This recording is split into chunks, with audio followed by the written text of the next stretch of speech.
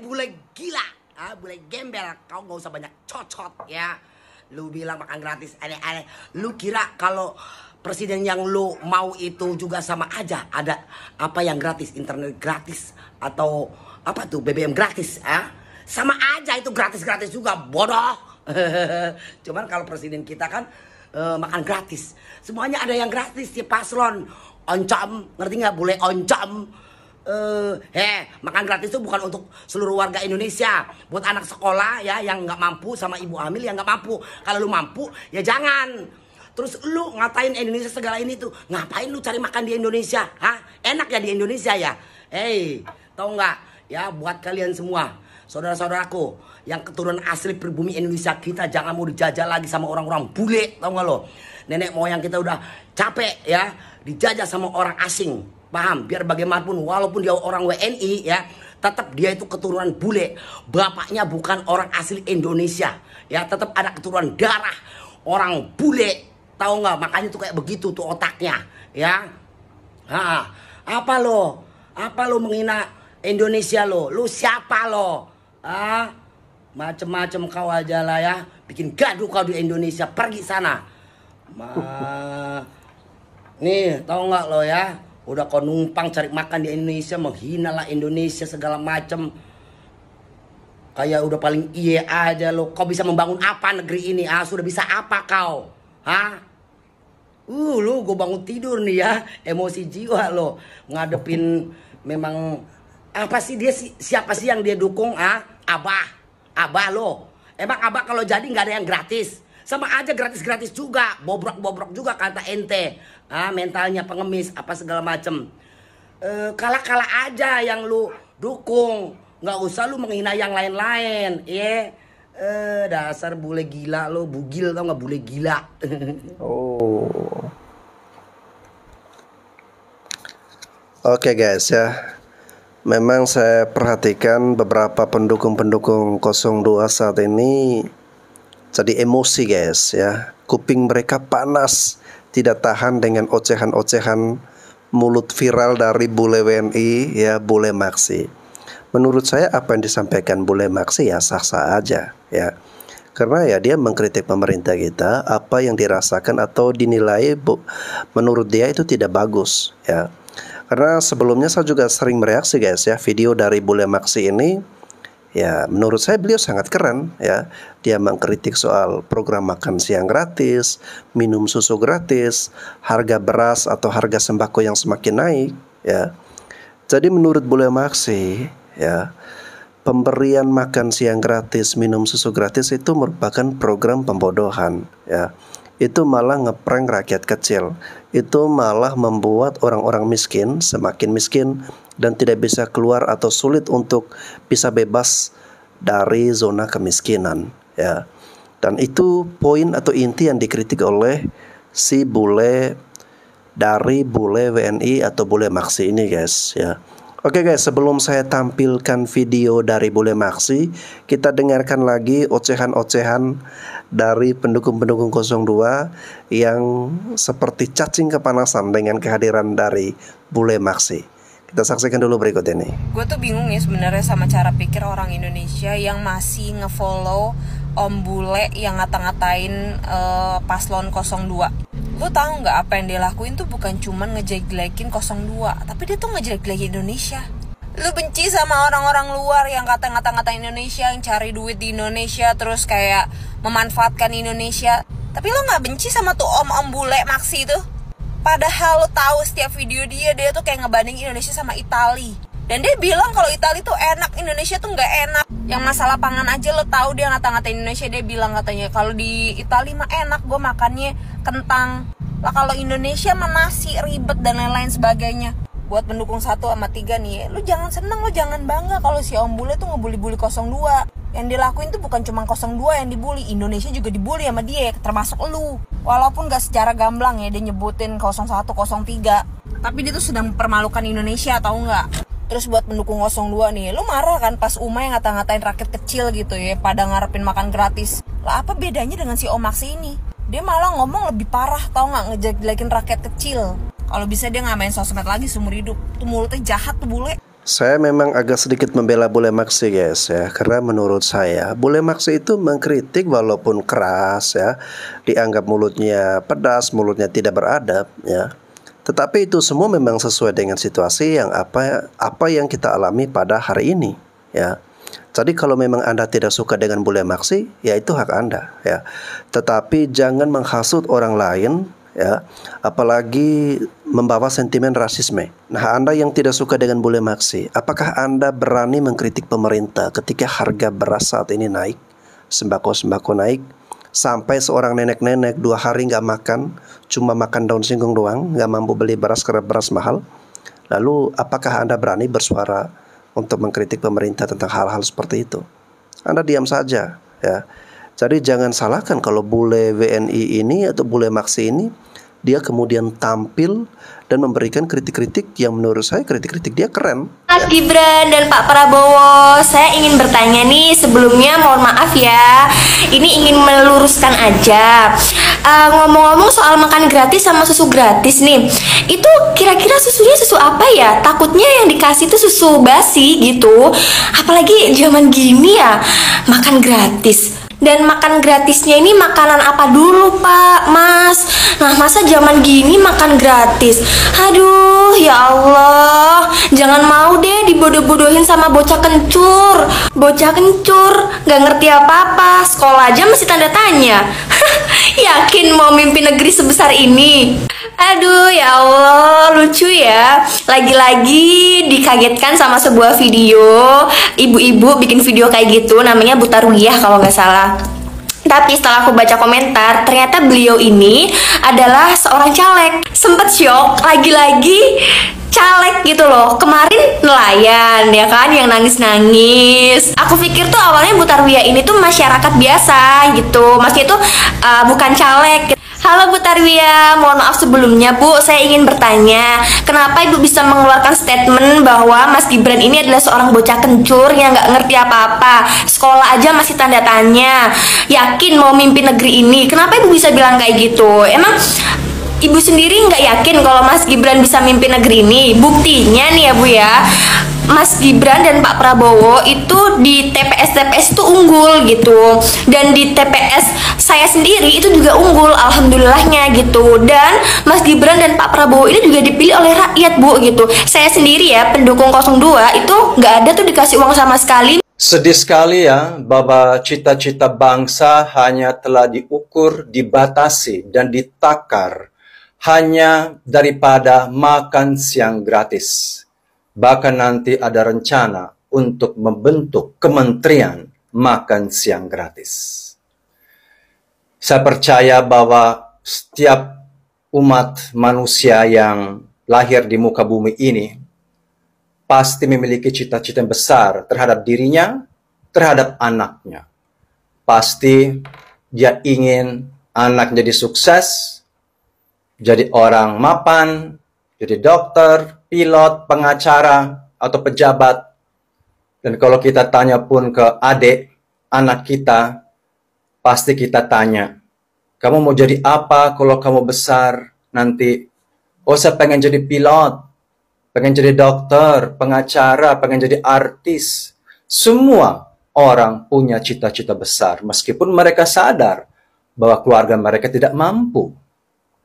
Itu adalah genetika yang Tuhan kasih kepada kita semua, mimpi yang besar. Dan oleh karena itu, oleh karena mimpi itu, kita bertahan hidup dan berjuang. Saya percaya kita ini sebenarnya membutuhkan pendidikan gratis, bukan makan siang gratis.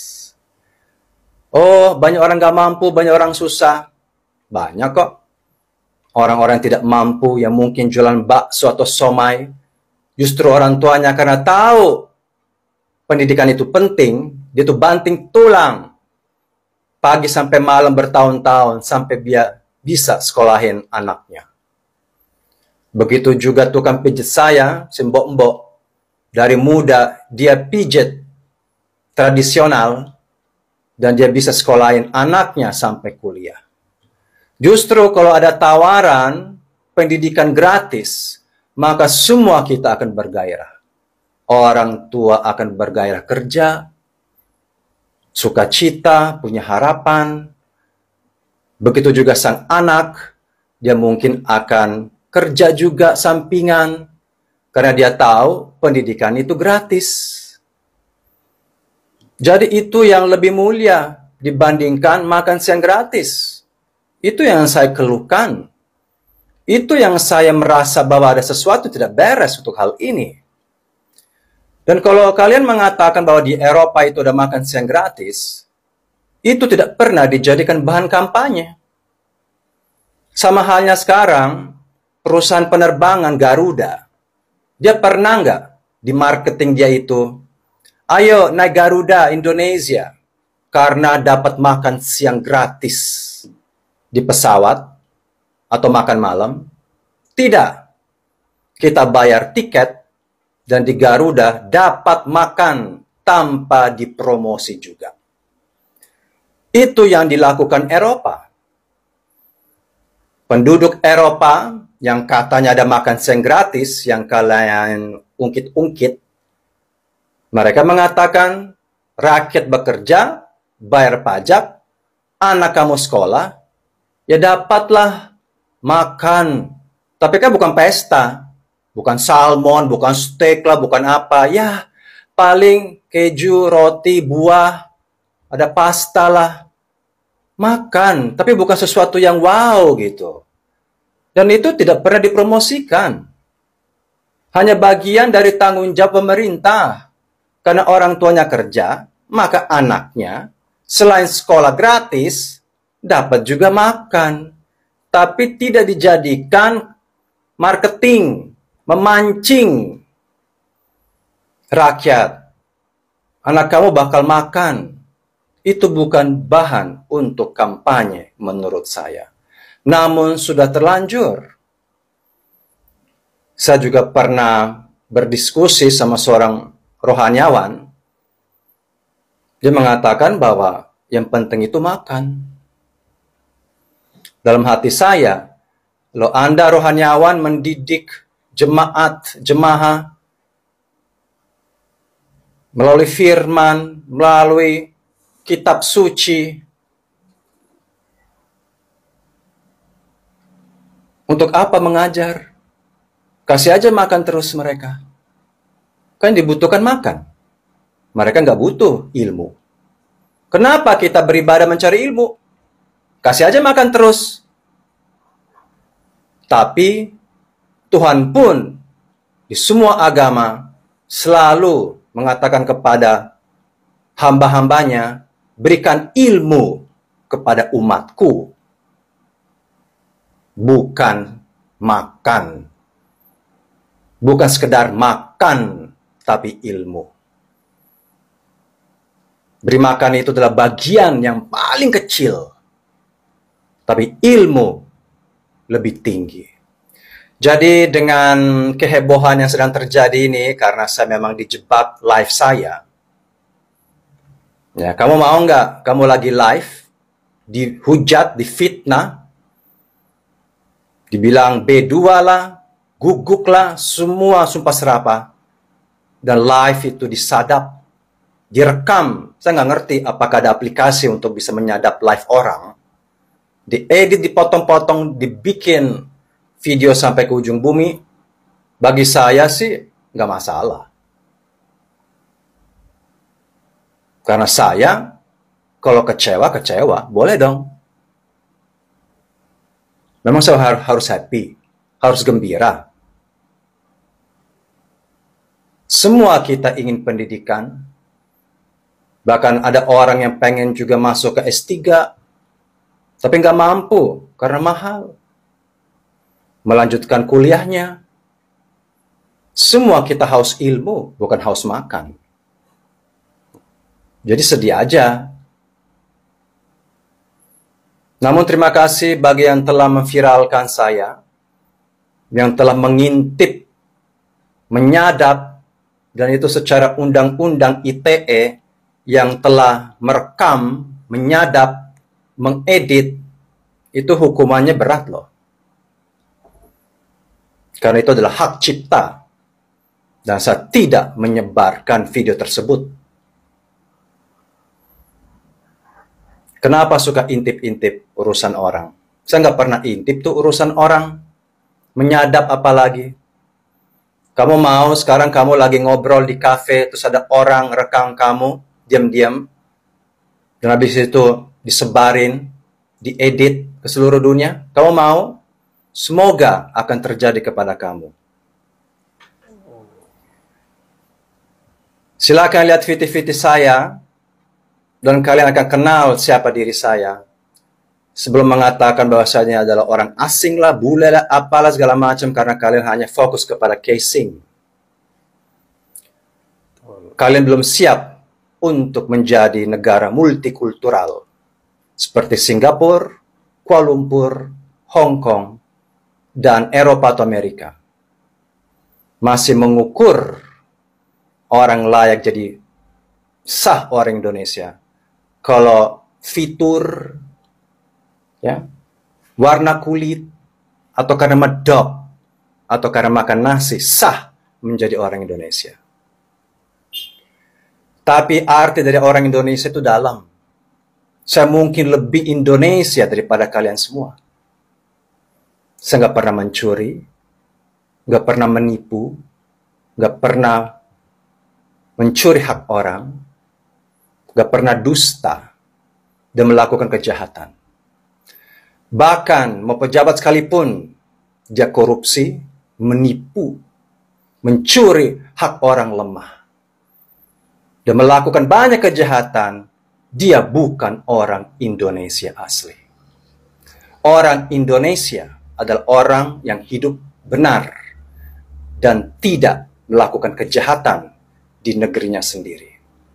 Tapi mentang-mentang orang itu medok, warna kulitnya sawo, tapi justru melakukan banyak kejahatan, oh dia sah orang Indonesia.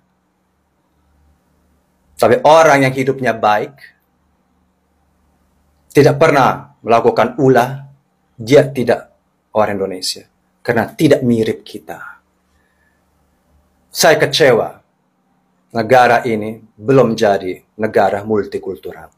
Semoga satu saat menjadi negara yang maju dan besar. Semoga. Amin.